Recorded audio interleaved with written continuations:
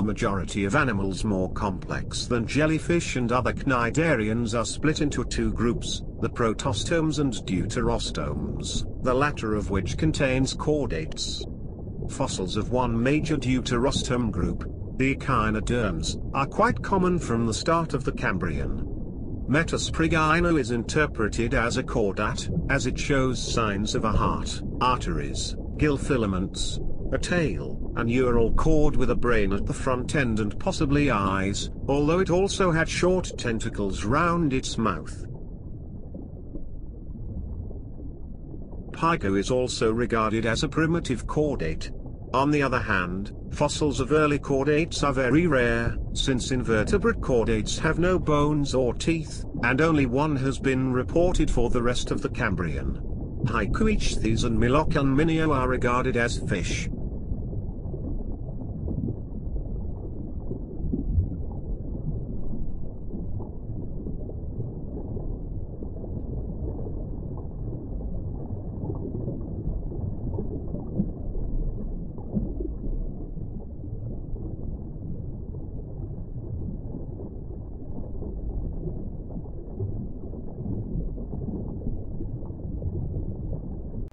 Placement of this group among the jawless vertebrates is a matter of dispute. While today enough fossil diversity is known to make a close relationship among the ostracoderms unlikely, this has muddied the issue of the Hyperoartia's closest relatives. The last common ancestor of lampreys appears to have been specialized to feed on the blood and body fluids of other fish after metamorphosis. Most of modern lampreys feed by boring into the flesh of other fish to suck their blood.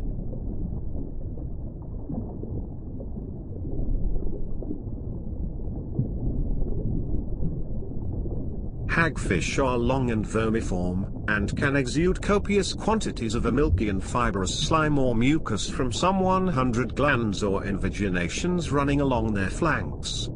It can feed upon and often even enter and eviscerate the bodies of dead and dying, injured sea creatures in sea floor. It has the ability to absorb dissolved organic matter across the skin and gill, which may be an adaptation to a scavenging lifestyle.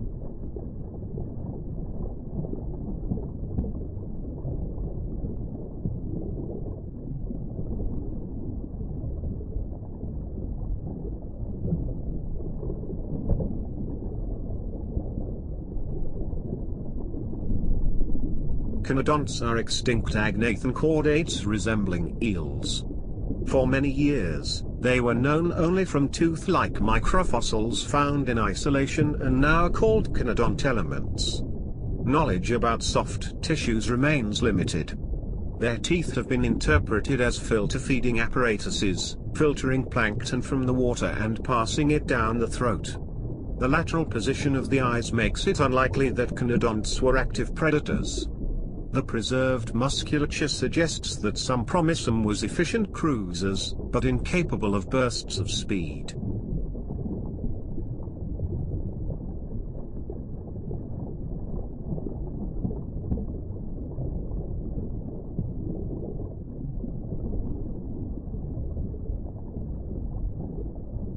Arandaspis had no fins, its only method of propulsion was the use of its horizontally flattened tail.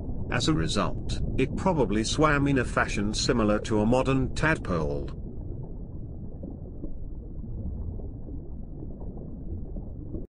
The fossils show extensive shielding of the head. Many had hypocercal tails in order to generate lift to increase ease of movement through the water for their armored bodies, which were covered in dermal bone. They also had sucking mouth parts and some species may have lived in fresh water. Most pteraspidomorphs were marine, but lived very near to the shore, in lagoons and deltas. Some groups are thought to have been freshwater dwelling. They were certainly bottom dwellers, as shown by traces of abrasion of the ventral surfaces of their head shields.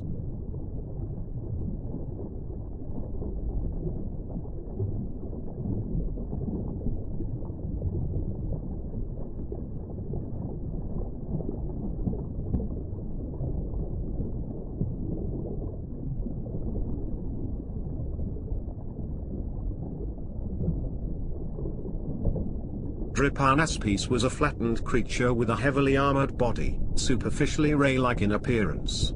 Its mouth faced upwards, unlike most other heterostracans, which had downward-facing mouths.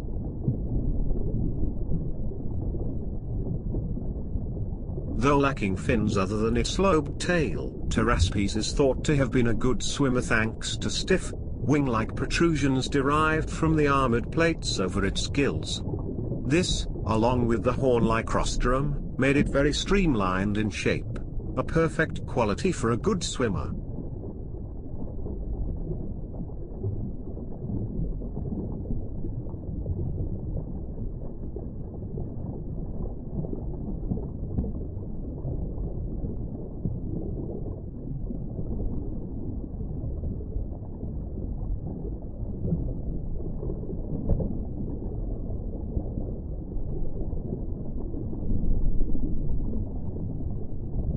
The bony scales of the thelodont group, as the most abundant form of fossil, are also the best understood, and thus most useful. The scales were formed and shed throughout the organism's lifetimes, and quickly separated after their death.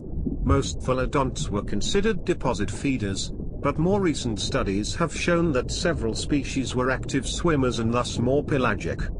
A large variety of species in particular preferred reef ecosystems. Furcacauda was deep-water jawless vertebrate, based on sediment in fillings of its fossil, gives credence to the evolutionary development of stomach before jaws.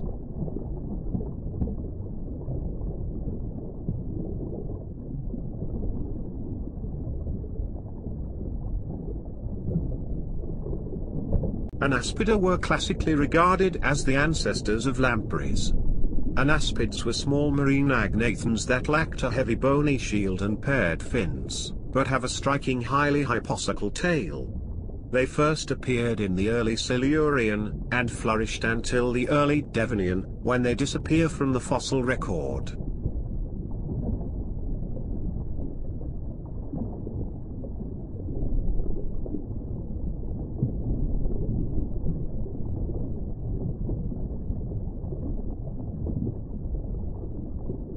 Galeaspida is another extinct taxon of jawless marine and freshwater fish. The name is derived from gale, the Latin word for helmet, and refers to their massive bone shield on the head. Galeaspida lived in shallow, freshwater and marine environments during the Silurian and Devonian times in what is now southern Asia. The opening appears to have served both the olfaction and the intake of the respiratory water similar to the nasopharyngeal duct of hagfishes. The Eugaleaspids underwent a diversification event. By the time the Wenlock epoch transitioned into the Ludlow epoch, all of the Eugaleaspids were extinct. They lived from the Wenlock, and were fairly long-lived, especially the genus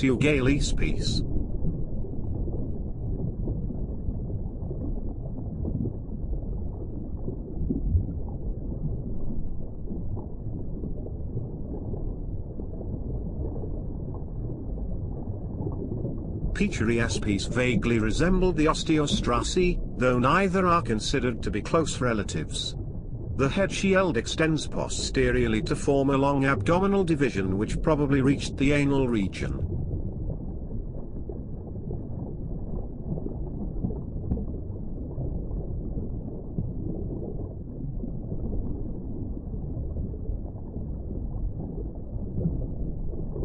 Osteostraci were probably relatively good swimmers, possessing dorsal fins, paired pectoral fins, and a strong tail.